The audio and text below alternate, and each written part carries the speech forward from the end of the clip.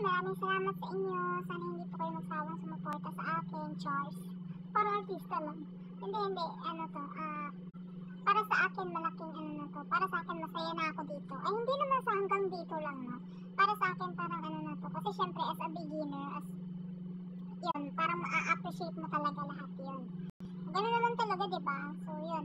100 subscribers, oh wow. I just can't believe it. Buong arte. Pero wala nga, ang